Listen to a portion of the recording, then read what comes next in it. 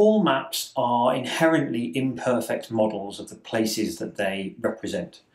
So the mathematician Alfred Korzybski explained this by using the phrase that's now become the standard way of describing it when he said the map is not the territory.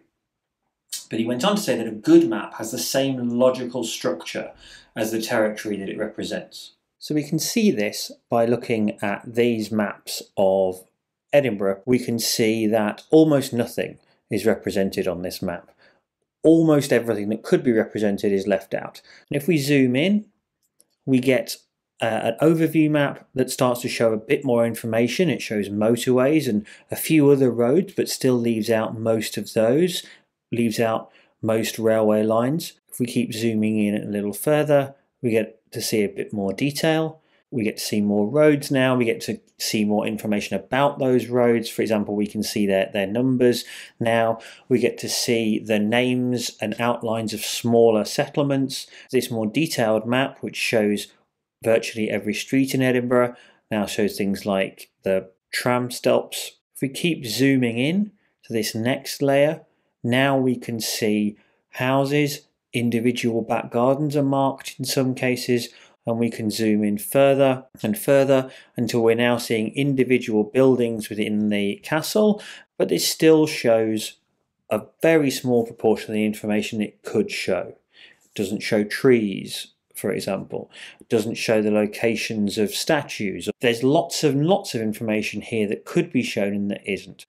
Because all maps are incomplete, you as a map maker have to choose what to include and what to leave out. If you include too much information on your maps, then they'll become cluttered and difficult to read.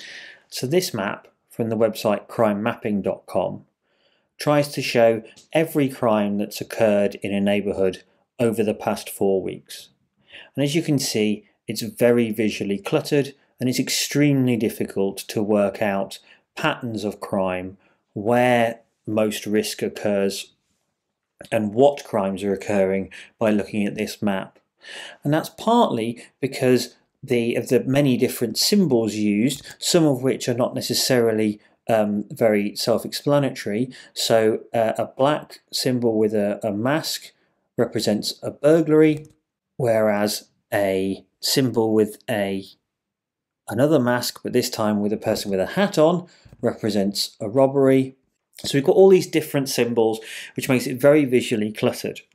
So visually cluttered, in fact, that the website's designers have decided that once you've got multiple crimes too close together, they'll replace all of those individual symbols with a symbol showing the number of multiple records, and then you have to click on each one. And visually, that's very problematic because six crimes, or 10 crimes, or 100 crimes takes up the same amount of space and has almost the same visual prominence as one crime occurring. But on the other hand, if you include too little information, then people are less likely to understand the point you're trying to make because there isn't enough context. So choosing what to put on your map and what to leave out needs careful thought. And deciding what information to include on a map becomes much easier if you have a clear idea of what the purpose of your map is. What story are you trying to tell?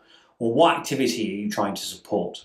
So to illustrate that, I'm going to show three maps of the centre of Berlin, the area around the museum island. And this first map is a tourist map. And you can see that it highlights things like public transport stations, the subway network. And also uh, tourist destinations like the Brandenburg Gate and the television tower. And it highlights these because they're things that are, are, of interest to tourists. They need to get around using public transport to get to the main sites. But if we look at a map of the same area that's a cycle map, the Brandenburg Gate isn't shown at all because most cyclists are probably going to be locals and so they have less interest in tourist sites and indeed they already know where they are. Public transport is shown, but it's given much less emphasis because although you can take bikes on sub, some public transport in Berlin, most people who are looking at a cycle map are doing it because they're going to be cycling. And it gives much more emphasis to things that weren't really shown on the previous map, like this track through a park. And this third map of Berlin, this is a Soviet era map um, produced by the Red Army, and the, the Soviet Army produced maps of many different places around the world to insist, assist their military forces if they were to invade those countries. Public transport is shown, but very, very minimally. If the Red Army were going to invade Berlin, they almost certainly uh, weren't going to do it by public transport. They give extra information that isn't on the other maps. So some of the bridges are marked, for example, as to the maximum weight that they can take so that tank commanders could plan which bridges they could use to cross rivers and other obstacles. And it also highlights other places that aren't on other maps, like this power station, which is used for district heating uh, in the area, because it's important to have control of facilities like that in, to control an area, but that's of very little interest to cyclists or to tourists. So you need to make decisions about what to include on your maps and what to leave out. The best way to make these decisions is to think about what the people who are going to use your map need from you. In particular, when you make a map, ask yourself these questions. How much does my audience already know about this topic? If your audience is an expert in a particular type of crime or a particular problem, if this is a, an issue that you know that they've been discussing uh, for months, you probably need to include less context on your map uh, and devote more space to other things that a, a beginner might not need than if the people who are going to look at your map don't know anything about the problem already. For example, if it's going to be used at a public meeting to think about crime, in which case you'll need to focus on those needs, which are going to be very different from an expert's needs. Second question, how well does my audience know this geographic area?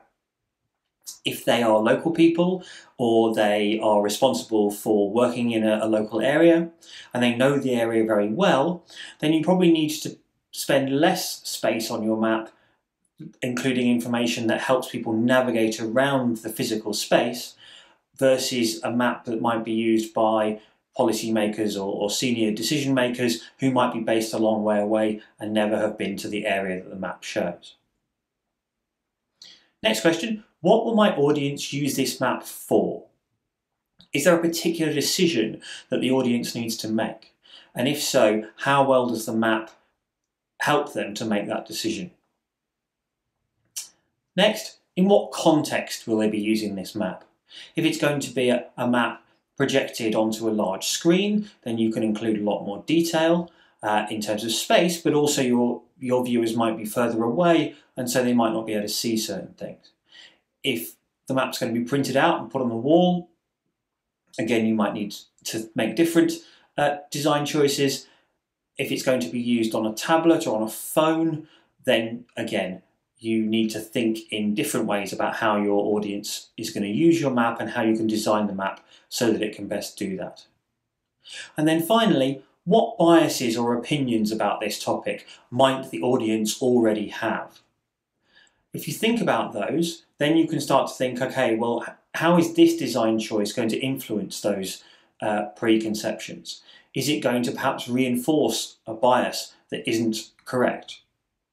Is it going to challenge a, a particular way of, of, thinking that might allow the people using this map to come to different decisions or at least to, to come to a, a firmer decision.